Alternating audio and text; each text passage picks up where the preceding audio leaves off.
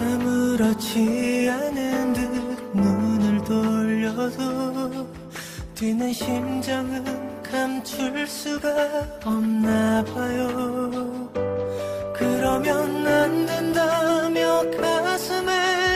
다짐하고 애원해봐도 그리움에 가려요. 아니라고 자꾸만 되뇌어 보아도 마음은 아직 그대라고 말하네요. 시간이 빠르듯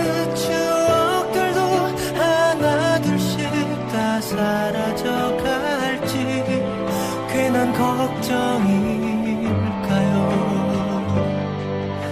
사랑은 흩어져 버린 건가요? 너무 작아서 다 죽지도 못할 만큼 혼자서 그 이름 불러보지만 그대 여전히